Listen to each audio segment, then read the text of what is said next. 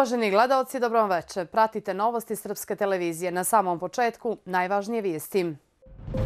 Kandidovanje Mladena Bojanića na predsjedničkim izborima izazvalo različite stavove kod kandidata čije su predsjedničke kandidature potvrđene od strane Dika, ali i onih koji su ih najavili. Srbija neće uraditi ništa što je na uštrb njenih vitalnih nacionalnih interesa i nema tih pritisaka zbog kojih bismo pristali da priznamo Kosovo, poručuju Aleksandar Vulin i Marko Đurić.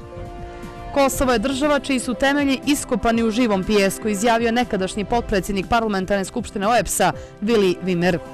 U Kini usvojen ustavni amandman kojim će predsjedniku Xi Jinpingu biti omogućeno da vlada neograničeno.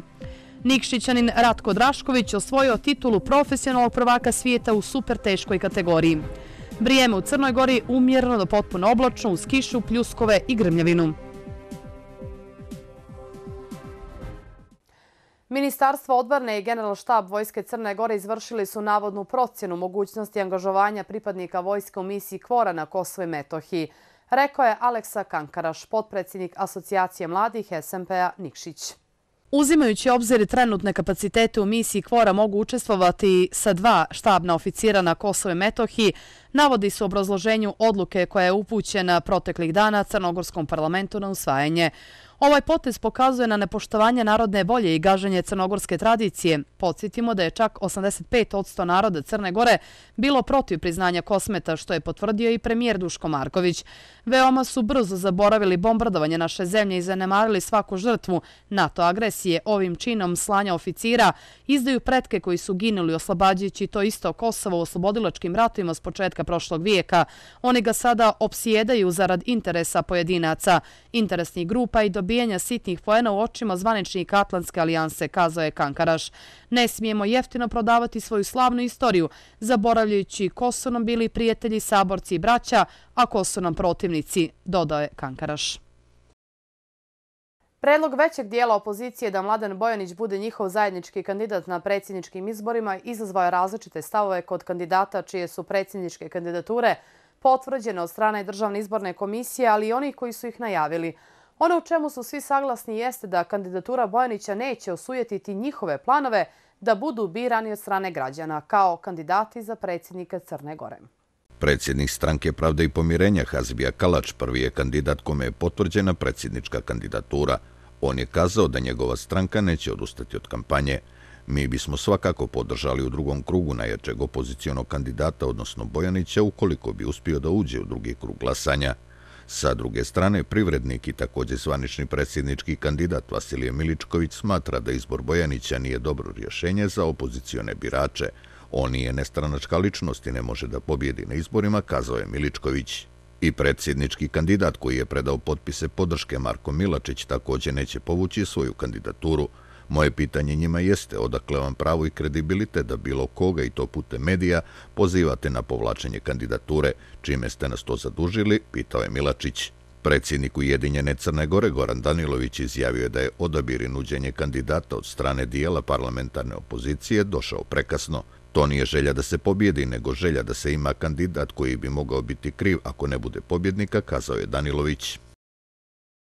Kandidat SDP-a za predsjednika države Dragenja Vuksanović je ocijenila da Mladen Bojanić ne može biti nestranački kandidat na predsjedničkim izborima jer je njegovo dosadašnje političko djelovanje definisano jasnim stavovima, kako kaže Vuksanović, bliskim politici Demokratskog fronta. Vuksanović je u intervju agenciji Mina na pitanje da li nakon najnovih dešavanja na opozicijonoj sceni razmatra mogućnost da povuče kandidaturu i podrži Pojanića, kazala je da je opozicija mogla ranije da donese odluku o zajedničkom kandidatu. To se, kako je navjela, nije desilo jer nije bilo potrebne ozbiljnosti prema tom procesu. Drugo, koliko mi je poznato, Bojanić ima podršku dijela opozicije, a ne ujedinjene opozicije. Dakle, on je kandidat cijelokupne opozicije, a naročito ne građanske, kazala je Vuksanović. Njegovi stavovi su bliski politici Demokratskog fronta koji je podržao na posljednjim parlamentarnim izborima, pa stoga ne čudi da je upravo Demokratski front veoma revnosno podržao ovo kandidata, kazala je Vuksanović. Socijaldemokratska partija je pozvala funkcionere URE da ne napadaju Draginju Vuksanović jer im, kako su naveli, ne može politika Demokratskog fronta biti bliža od stavova i njenih dosadašnjih zalaganja za građansku Evropsku Crnogoru.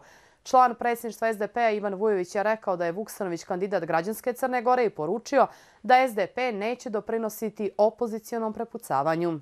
Za finansiranje kampanje u oči predsjedničkih izbora biće izdvojeno oko 1.400.000 evra. To je po zakonu o finansiranju političkih subjekata izbornih kampanja 0,07 od 100 tekućeg budžeta za ovu godinu.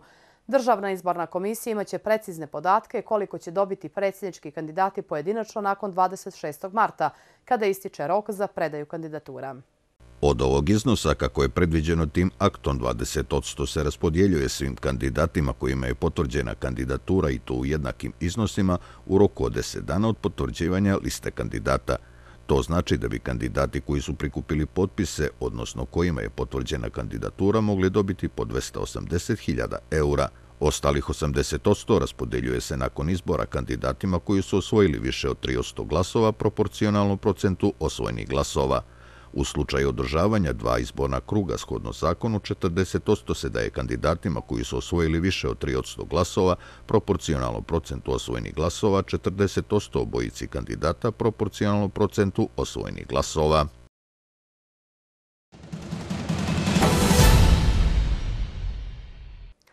Komisija za reviziju Novog ustava Srpske pravoslavne crkve završila je svoj rad. Izjavio je sekretar komisije Velibor Džomić. On je u emisiji Sedmica Radio Beograda rekao da očekuje da će novi ustav Srpske pravoslavne crkve biti usvojen. Sjedinjene američke države su pripremile specijalni kosovski paket u četiri tačke koji će u narednim nedeljama biti predstavljen najprije predsjedniku Srbe Aleksandru Vučiću, pišu večernje novosti. Kako taj list navodi prema odlično obaviještenim izvorima, ovaj dokument Vašingtona sa izraženom geopolitičkom notom tiče se direktno statusa Kosova i u mnogome može da odredi dalji strateški pravac Srbije. Novosti navode da taj tekst predviđa da zajednica srpskih opština na Kosovu dobije šira izvršna ovlašćenja i pojačane nadležnosti u oblastima zdravstva, prosvjete i kulture – Zajednice bi, kako navode, tijesno institucionalno bila povezana sa potpredsjednikom kosovske vlade, koji bi dolazio iz redova srpskog naroda i koji bi praktično bio kontrolor njenog rada i sprovođenja ulašćenja. Od Beograda se očekuje da omogući ulazak Prištine u međunarodne organizacije – Ako srpska strana pristane na ovaj paket, Srbiji bi bio omogućen ulazak u Evropsku uniju, a Sjedinjene američke države bio i garantovale širu ekonomsku i diplomatsku podršku u međunarodnoj političkoj areni, prenose novosti. Sagovornici novosti iz diplomatskih krugova ocjenjuje da su se Sjedinjene američke države odlučile na ovaj korak, jer su nezadovoljni inertnošću Brisela kada je riječ o kosovskom pitanju. Srbija neće uraditi ništa što je na uštrob njenih vitalnih nacionalnih interesa i nema tih pritisaka zbog kojih bismo pristali da priznamo Kosovo, kazao je ministar odbrane Aleksandar Vulin povodom pisanja medija da su Sjedinjene države pripremile kosovski paket koji će u narednim nedeljama predstaviti predsjedniku Srbije Aleksandru Vučiću. E, nije prvi put da se vrše pritisci na vladu Republike Srbije i na prvom mestu na predsjednika Republike Aleksandra Vučića ali da vam kažem da je Aleksandar Vučić čovjek koji odlično podnosi pritiske i koji ume da se nosi eh, i sa, sa eh, željama velikih sila da nas stave tamo gde oni misle da treba da nas stave, a da ne pitaju građane Srbije, da ne pitaju Srbiju šta ona misli eh, o svemu tome. Dakle, može svako da piše šta hoće, može da špekuliše kako god hoće, ali država Srbija ne menja svoj stav. Direktor Kancelarije za Kosovo i Metohiju Marko Đurić nije želio da komentariše tvrdnje o planu administracije Amerike za Kosovo u četiri tačke i rekao da je prava adresa za sto State Department. Pa ja ne bih danas previše o politici. Mogu samo da vam kažem da za to morate da pitate State Department. Ako neko zna nešto o tome, oni znaju i to je sve što imam da kažem. Mi svakako imamo srpski paket za Kosovo i Metohiju, ali to je naš paket. A za američki morate da pitate State Department. Hvala. Hvala i...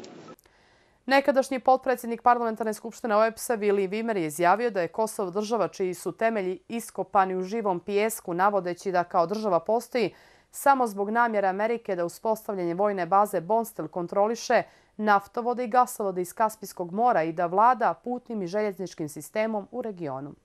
Pitanje Kosova je bilo dio i još uvijek je tema razgovora između Izraela i njegovih susjeda o budućnosti Bliskog istoka, ocjenjuje Vimer, koji je bivši port parol njemačke vladajuće stranke CDU. Njemački političar ističe da je deklaracija o nezavisnosti Kosova protiv svih srodnih dokumenta Ujedinjenih nacija i da je to razlog zbog koga pet članica Evropske unije ne prepoznaje tu nezavisnost. Ako bi to učinili, oni bi se suočili sa istim rezultatima u svojoj zemlji, što možemo vidjeti danas u Kataloniji, kazao je on. Vimer je rekao da je srpski narod na pogrešnom mjestu u pogrešnom vremenu kada je riječ o globalnoj politici Sjedinjenih američkih država prema Rusiji i drugima. Beograd je bio prva vruća tačka velikog rivaliteta orkestriranog iz Sjedinjenih američkih država. Rat iz 1999. godine imao mnogo veze sa idejom Amerike da uništi ruski uticaj na Balkanu, kazao je Vimer. Na sastanku koji je nedavno održan u Londonu upale su teške riječi između predsjednika vlade Srbije Ana Brnabić i VD zamjenika pomoćnika državnog sekretara Amerike za Evropu i Euraziju Metjoa Palmera prenosi Blic. Brnabić je poručila američkom zvaničniku da Sjedinjene američke države moraju da utiču snažnije na Prištinu da ispuni svoj dio briselskog sporazuma. Premijerki je dosadilo da Srbija uvijek bude krivac kako ne čini dovoljno pa je uputila nekoliko oštrih rečenica Palmeru. Mi od vas očekujemo da se snažije založite da Priština ispuni svoj dio briselskog sporazuma i formira zajednicu srpskih opština, istakla je Brnabić. Palmer je želio da uvjeri srpsku premijerku da Sjedinjene američke države već čine sve u tom smjeru. Palmer istakao da su SAD zainteresovane za nastavak dijaloga Beograda i Prištine i dodao kako Sjedinjene američke države mogu da pomognu da se dijalog pokrene nakon ubistva Olivera Ivanovića, navodi izvor Blica, upozna se detaljima sastanka. Na sastanku koji je bio prilično težak, Brnabićeva između ostalog naglasila da je pitanje očuvanja srpskih crkava i manastira civilizacijska tekovina i norma koja se podrazumijeva, te da to ne smatra nikakvim ustupkom Srbiji. Predsjednik Srbije Aleksandar Vučić je primio pismo predsjednika Kine Xi Jinpinga u kojem potvrđuje da prihvata poziv da ponovo posjeti Srbiju. Dozvolite mi da, vas, da vam se najiskrenije zahvalim na čestitki povodom kineske nove godine. Ja vas visoko cijenim kao predsjednika koji je dosledno se zalagao za razvoj prijateljskih odnosa i saradnju sa Kinom. Navodi se u pismu kineskog predsjednika. Tradicionalno prijateljstvo između Kine i Srbije je čvrsto i neuništivo, kazao je Si. Posljednjih godina u zajedničke napore naše dvije strane postignuti istorijski napredak u bilateralnim odnosima, što me veoma raduje. Kineska strana poštuje i podržava put razvoja koji je srpski narod samostalno izabrao i raduje se postignutim rezultatima ekonomskog i društvenog razvoja vaše zemlje tokom posljednjih godina, poručuje Si. Ja vam se zahvaljujem na pozivu da posjetim Srbiju i spreman sam da se opet sretnem sa vama u terminu koji odgovara objama stranama, navodi se u pismu predsjednika Narodne republike Kine Xi Jinpinga. U Srebrnici je povodom proslave dana opštine predsjedniku Republike Srpske Miloradu Dodiku uručena plaketa sa zlatnim grbom opštine. RTRS prenosi da je u Srebrnici prethodno održan sastanak Dodika, ministra odbrane Srbije Aleksandra Vulina i načelnika opštine Mladena Grujičića. Odmah nakon sastanka upriličena je svečana sjednica Skupštine opštine na kojoj su uručena najveća opštinska priznanja. Navodi se da je najveće opštinsko priznanje Dodiku dodijeljeno odlukom Skupštinske većine koju čine srpski odbornici. Plaketa sa srebrnim grbom opštine dodijeljena i srpskom članu presjedništva Bosne i Hercegovine Mladenu Ivaniću, a plaketa sa bronzanim grbom Međunarodnom forumu solidarnosti EMAUS. Ministarstvo odbrane Srbije saopštilo je da je predviđeno da ministar Vulin zajedno sa predsjednikom Srpske obiđe dječji vrtić i firmu Economic Group, čija je izgradnja finansirana novcem vlade Srbije. Na današnji dan prije 12 godina u pritvorskoj jedinici Haškog suda je preminuo nekadašnji predsjednik Savezne republike Jugoslavije Slobodan Milošević. Vijenci i cvijeće na grob nekadašnjeg predsjednika Srbije i Jugoslavije u dvorištu njegove porodične kuće u Požarevcu položile su delegacije Socialističke partije Srbije, Srpske radikalne stranke Udruženja Sloboda, ali i njegovi poštovalci iz Požarevca i drugih gradova Srbije. Komentarišući inicijativu za podizanje spomenika Slobodanu Miloševiću, član predsjedništva SPS-a Nikola Šajinović rekao je da bi to samo bio nastavak podizanja spomenika, jer ih Milošević već ima poput Dejtonskog sporozuma i rezolucije 1244. Kao i prethodnih godina na pomenu nije bilo nikogo članova porodice Milošević.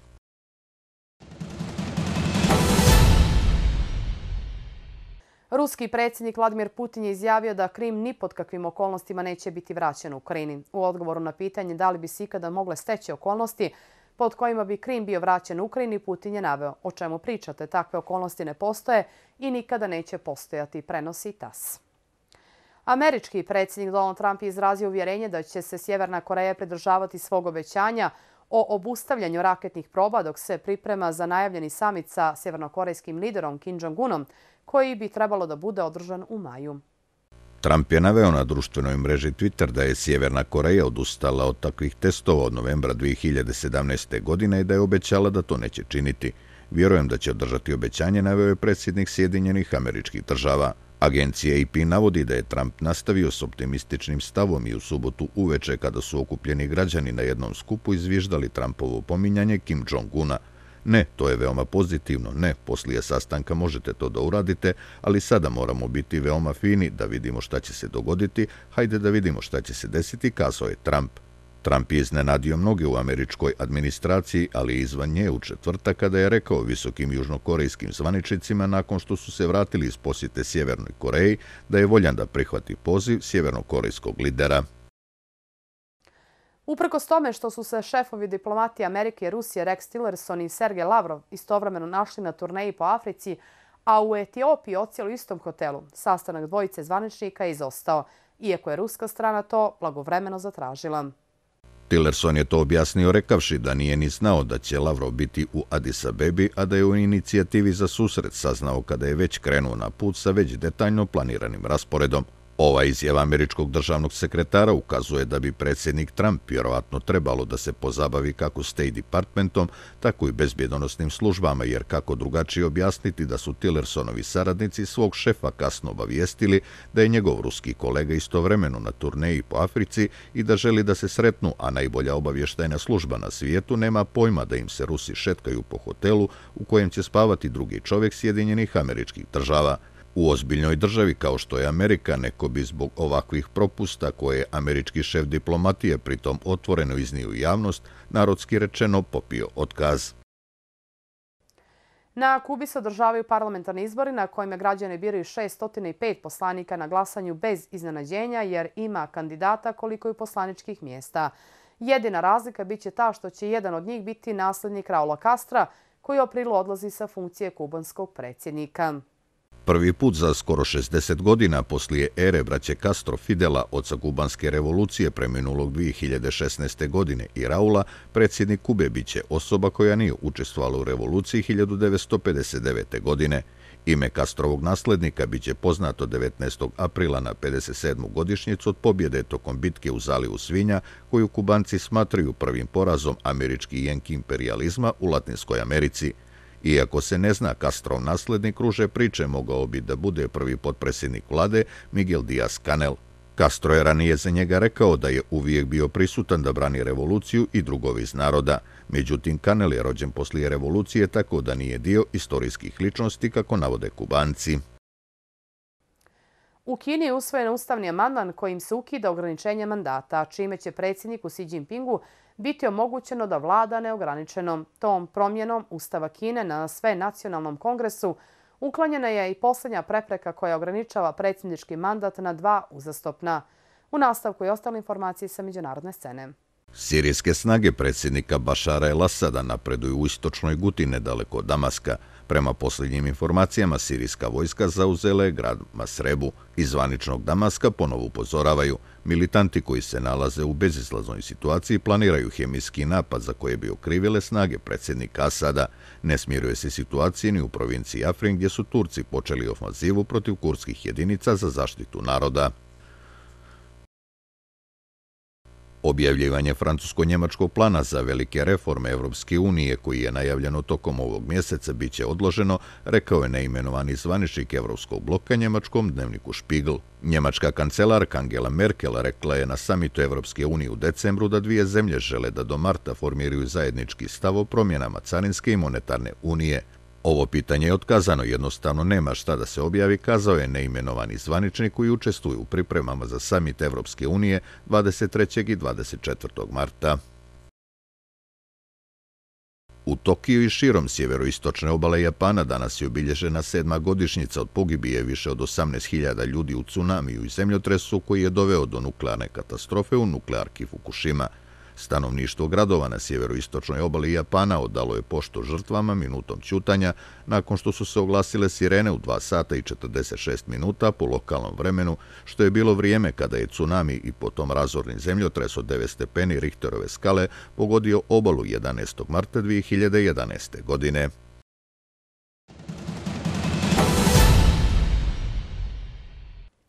Nikšićanin Ratko Drašković osvojio titulu profesionalnog prvaka svijeta u superteškoj kategoriji.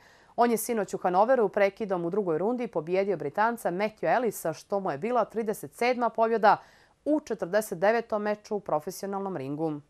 Drašković je dočekalo više od 300 ljudi na aerodromu nakon što je sinoć osvojio titulu profesionalnog prvaka svijeta u superteškoj kategoriji. Želim da se zahvalim svim mojim prijateljima iz Podgorice, Nikšića i Cetinja koji su došli da me sačekaju, kazao je Drašković. Objavio je da je borba počela žestoko, ali uspio da Britanca Matthew Ellisa nokautira. Drašković je, podsjećamo, ostvario 37. pobjedu u 49. meču na profesionalnom ringu. On je u 52. godini postao najstariji šampion svijeta u istoriji profesionalnog boksa. Najavljeno je da će Drašković braniti titulu protiv Denija Williamsa.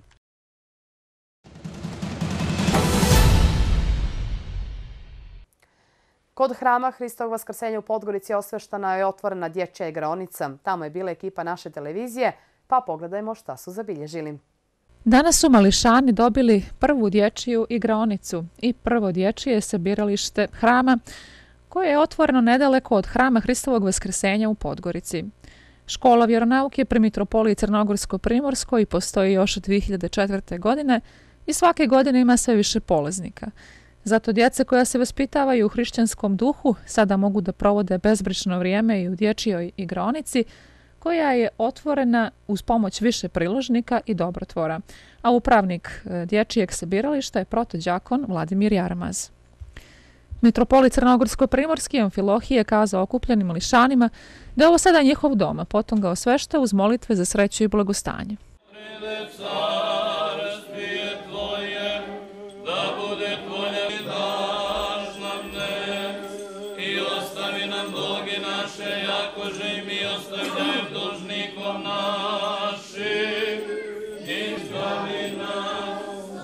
Djeco, neka je blagosloven, ovo je vaš dom, ovo je vaš djece, vaš prvo ovdje koji dolazite i sve djece ovoga grada. Ovo. Sjetimo se dok blagosiljamo ovaj dom one pećine u kojoj se Hristos rodio. Treba da zablagodarimo ocu Draganu Mitroviću, ali i Zoranu Bulatoviću i Željku Šljivančaninu, koji su opremili ovaj dječji dom. Treba da zablagodarimo i našim ocima ovdje sveštenicima, ocu Draganu, ali posebno da zablagodarimo našem čekaristu Drekaloviću i Bulatoviću.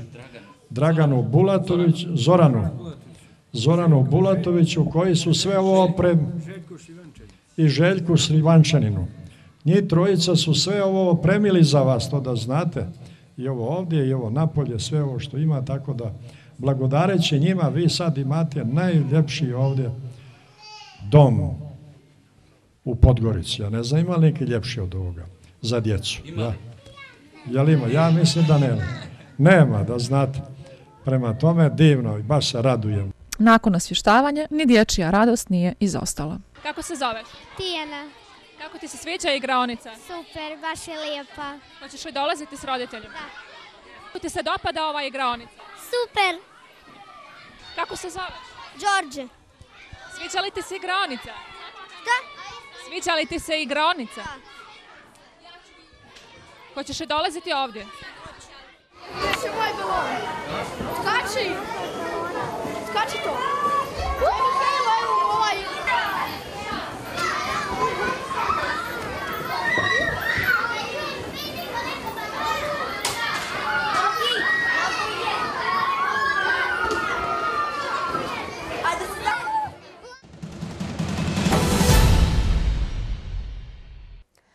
Sjutra u Crnoj Gori kažu prognostičari umjerno do potpuno oblačno uz kišu, pljuskove i gremljevinu. Očekuju se umjerene do obilne padavine, osim na krajnjem sjeveru i sjeveroistoku, gdje će biti manje padavina, vjetar pojačan i jak južnih smjerova. Jutarnja temperatura kreteće se od 3 do 13, dnevna od 5 do 16 stepeni.